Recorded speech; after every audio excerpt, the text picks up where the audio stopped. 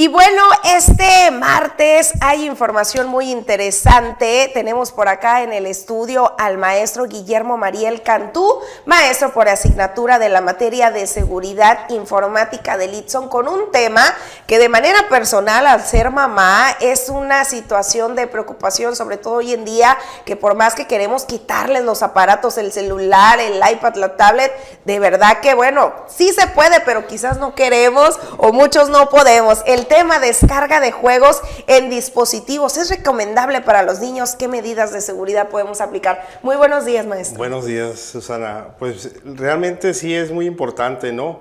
Siempre eh, al hablar de, de, utilizar cualquier aplicación, ¿no? En este caso videojuegos, pues sí es bien importante, sin duda, eh, pues poder controlar, vigilar, supervisar y si son menores de edad quienes van a utilizar estos videojuegos, pues sin duda nosotros tenemos que tomar todas las medidas, ¿sí? Para que de alguna otra manera, pues puedan, puedan utilizar ellos estas aplicaciones y bueno, siempre cuidando nuestra información, que sin duda es lo más importante. Bueno, en este tema, Susana, sin duda eh, es importante mencionar que si son menores de edad, bueno, también aparte de, de, que nosotros descarguemos estas aplicaciones y las instalemos, debemos de asegurarnos de que son de las fuentes fidedignas. ¿sí? de, de los fabricantes hay que fijarnos ¿sí? en el número de descargas, que generalmente los, los juegos más populares pues serán millones de descargas. Entonces, ¿Y esto por qué te lo comento? Porque hay muchas aplicaciones piratas y que aunque estas se encuentren en portales, sí, como uh, de Apple, sí, o, o, bien para todos los dispositivos Android, sí, como Play Store, sí, estos, estos eh, ciberdelincuentes siempre van a buscar hacer clones de estas aplicaciones y sin duda eh, tratar de por ahí, sí, eh, pues incluir algún malware. Y bueno, realmente es algo muy serio porque inclusive, te comento Susana, estaba leyendo precisamente a, anoche que hay unos tipos de, de, virus informáticos que le llamamos malware, ¿sí? Okay. ya hablando en tecnicismos, que estos inclusive pueden llegar a secuestrar toda tu información.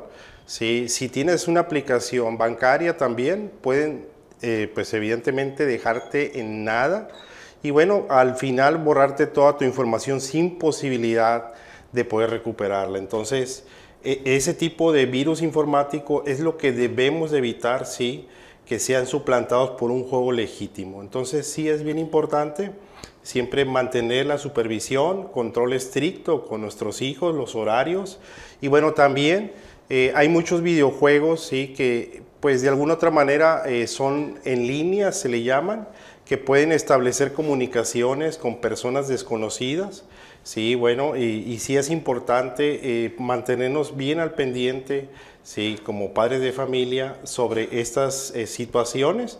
Y bueno, también donde puedan dar algún clic, descargar alguna aplicación que, como ya comentaba, pudiera ser maliciosa o cobrarte, ya la viví en casa, Así ¿eh? Es, dejar también. esta tarjeta registrada quizás en el celular y de repente un cobro, otro cobro, otro cobro y pues ahí está el recibo.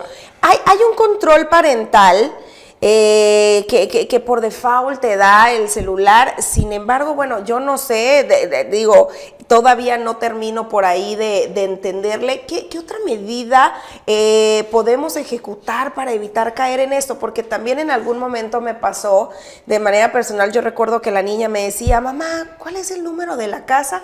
Y yo, ah, pues 1926, ¿por qué? Ah, es que me lo está pidiendo una amiga. Y yo, pues, ¿qué amiga? Vengo, ay, un niño de un juego. Y yo, pues, ¿cómo sabes que es un niño? Porque no lo conoces. Así. No, lo conocí por los videojuegos y los niños es parte de su inocencia, pero hoy en día que tanto nos están hackeando, robando las redes sociales, los datos, realmente es un riesgo. Así es, sin duda.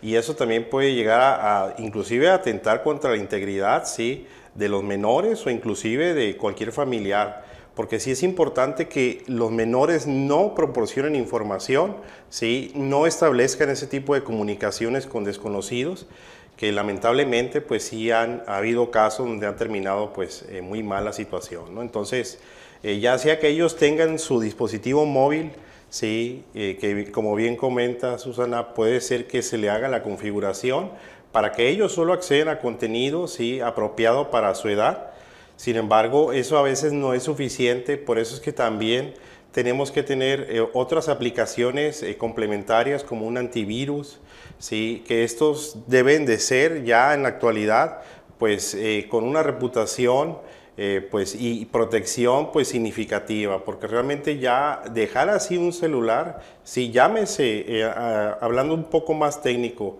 sin importar el sistema operativo que tengan estos dispositivos, si sea una consola de videojuegos, si sea un celular, una tablet, cualquier dispositivo, todos requieren un antivirus. Eso es bien importante y inclusive esas mismas aplicaciones cuando son muy avanzadas, muy sofisticadas, ellos te ofrecen también protección de, control parental, ¿sí? adicional a la que ya trae el mismo dispositivo. Entonces sí es bien importante pues tener bien presente que si, si uno va a acceder a que un menor pues eh, juegue, establecer horarios, hacer las configuraciones nosotros, ¿sí? y de esa manera poder minimizar pues que se presente cualquier incidente de seguridad y bueno, y que también por ahí hay una fuga de información que la verdad eh, pues puede terminar algo muy lamentable. ¿Estos antivirus podemos encontrar gratuitos? Sí, de hecho hay uno que, ¿puedo decir marca? Me imagino que sí. Bueno, muy bien. Hay alguno muy famoso que se llama Malwarebytes. Ese se puede conseguir para dispositivos móviles, PCs. Generalmente es una prueba de 15 días, sin embargo se puede seguir utilizando porque hay algunas opciones más avanzadas que esas dejan de estar disponibles posterior a que, a que finaliza ¿sí?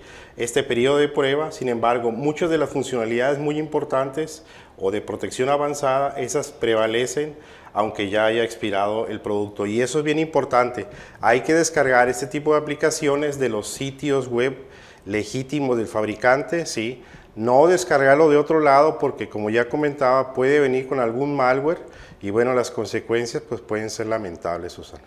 Así es, pues ahí está la configuración, establecer horarios y sobre todo el informar, ¿verdad? A veces también decimos, es. que este chiquito no va a entender. Si entienden los pequeños también o explicarles los riesgos que pueden vivir para que ellos mismos vayan tomando sus precauciones, que la piensen dos veces antes de emitir algún tipo de información, algún tipo de fotografía, que el uniforme, que se toman la foto con la placa del carro. Bueno, cualquier detallito por ahí, los, los eh, ciberdelincuentes están ahí con lupa, ¿verdad? Viendo, viendo qué pueden obtener. Sin duda. Realmente, pues sí, lamentablemente, pues esto, Susana, pues no, no va a la baja, sino a la alta y, y pues cada vez tienen herramientas más sofisticadas, la verdad, estos ciber, cibercriminales. Perfecto, maestro. ¿Dónde se le puede encontrar algún eh, eh, número, alguna red social, quizás si alguien trae algún caso en específico por ahí que desea tratar? Claro, me pueden, me pueden enviar un correo electrónico a gmariel.itson.edu.mx y con todo gusto por ahí podemos dar seguimiento a todas sus dudas sobre el tema.